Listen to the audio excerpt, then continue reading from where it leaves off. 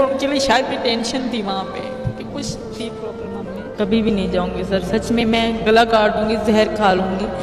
यहीं मर के दिखाऊँगी मैं वापस नहीं जाना चाहती। मेरे बच्चे भी खुश हैं मैं भी खुश हूँ सर यहाँ। तो नहीं वो भी देश है। मैं वहाँ रही हूँ पली भड़ी हूँ। मेरा बचपन बीता वहाँ पे। मेरी अम्मी मेरे मम्मा पापा भाई बहन वहीं के हैं। मेरे माँ बाप की कब्र वहीं पे है। तो उस देश के बारे में मैं कोई गलत नहीं बोलूँगी।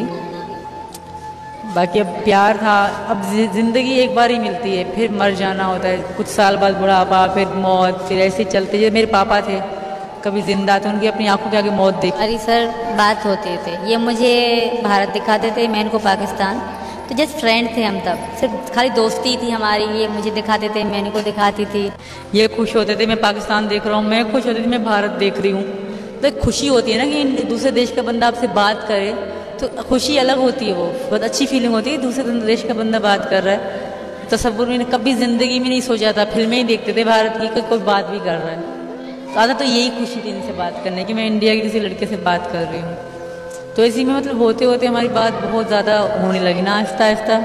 पूरे पूरे दिन पूरी पूरी रात भी हमारी बात होती रही है। कोई प्रेशराइज नहीं करा और हैदर वीडियो में कह रहे हैं कि सचिन ने हमारा दिमाग ख़राब कर दिया हमें यहाँ लाए मुझे किसी ने दिमाग मेरा ख़राब नहीं करा सर। अपनी मर्ज़ी से आई हूँ, इनकी मोहब्बत में आई हूँ, इनकी मोहब्बत में मैंने ये धर्म भी स्वीकार कर लिया क्योंकि मेरे पति हैं ये, मैं मानती हूँ। हमने नेपाल में शादी करी है, मेरी इंस्टा की आई डी है सत्ती मीनू। उसमें हमारी वीडियो पड़ी हुई है। बच्चों को, मेरे बच्चे बीमार हो गए थे। जो तीन दिन का सफ़र था, बड़ी लड़की उल्टियाँ करती है बहुत ज़्यादा मेरी तो इसलिए वो इतना ज़्यादा नहीं पूछा गया। मुझ पर हमारे पाकिस्तान में भी ये, यही था। कि अगर 18 साल से बड़ी लड़की अपनी ज़िंदगी का फैसला खुद ले सकती है वो आज भी पाकिस्तान में चल रहा है। अठारह साल से बड़ी हर ज़िंदगी अपनी ज़िंदगी का फैसला ले सकती है। तो मैं सत्ताईस साल की हूँ मैं अपनी ज़िंदगी का फैसला ले सकती हूँ।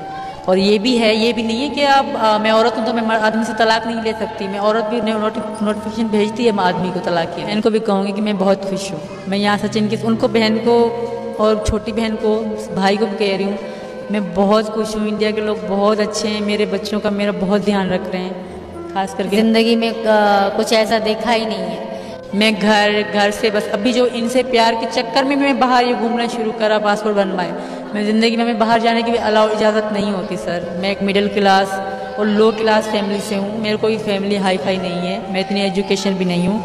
हाँ मैं थोड़ा बहुत अंग्रेज़ी के शब्द ऐड कर लेती हूँ। इसका मतलब नहीं कि मुझे सारी इंग्लिश आती है। आप दो लाइन इंग्लिश मुझे साथ से बोलवाते थे मैं तो उतना नहीं लगूँगी फिर। नहीं, वापस नहीं जाऊँगी सर कभी। ऐसा नहीं याद नहीं आता। याद तो आएगा। दायर जो इंसान जहाँ रहता है तो पिछली पुरानी यादें सबको याद आती हैं, पर मैं वापस कभी नहीं जाना चाहूँगी सर। और मैं वहाँ पाकिस्तानियों से भी रिक्वेस्ट करती हूँ। मैं यहाँ बहुत खुश हूँ। इस तरह की उल्टी सीधी बातें या उल्टी सीधी काम ना करें मेरे लिए, कि मेरे लिए कोई दिक्कत पैदा हो। मैं बहुत खुश हूँ यहाँ पे। मेरे बच्चे भी बहुत खुश हैं। हैदर से भी रिक्वेस्ट करूँगी कि भाई तुम खुश रहो, अपने वो बच्चे संभालो।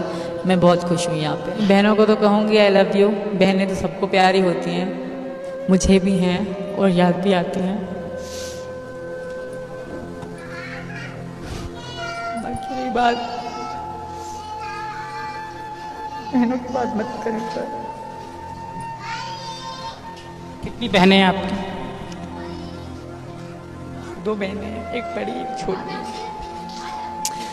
बहनों की बात बताएँ, सर। बहनें खुश हो जाएँगी अपनी शादी की। बड़ी वाली की शादी हो गई, उसका पति अपने मामा का लड़का है, वो बहुत अच्छा है। वो तो बहुत खुश है। छोटी वाली जो है, उसके पास भाई है मेरा वो बहुत ध्यान रखेगा उसका। कि मेरा कोई भी नहीं था, सर। मेरे पापा के बाद हमारा कोई भी नहीं था मेरा। एक भैया थे और उनके लिए शायद मैं टेंशन थी वहाँ पे कि कुछ थी प्रॉब्लम हमें मेरे पापा के मर जाने के बाद मुझे गाँव से मना कर दे के तुम गाँव कभी नहीं आओ। मेरे चाचा ने ही करा था। ये बस थोड़ी सी ऐसी फैमिली मैटर है। बस मेरा कोई भी नहीं है पीछे। भाई बहन है, वो खुश रहेंगे अपनी ज़िंदगी में। मैं बहुत खुश हूँ यहाँ सचिन के साथ। और हैदर से रिक्वेस्ट है कि वो इस तरह की उल्टी सीधी बातें करके मेरे लिए प्रॉब्लम ना खड़ी करे। अगर वो मुझे सच में इतना पसंद कर रहा है तो मुझे खुश रहने मर जाऊँगी यहाँ ख़त्म हो जाऊँगी मैं वापस नहीं जाऊँगी। मेरा वापस कुछ भी नहीं। कभी भी नहीं जाऊँगी सर। सच में मैं गला काट दूँगी जहर खा लूँगी। यहीं मर के दिखाऊँगी मैं वापस नहीं जाना चाहती। मेरे बच्चे भी खुश हैं मैं भी खुश हूँ सर यहाँ। मैं वापस किसी सूरत में नहीं जाना चाहती।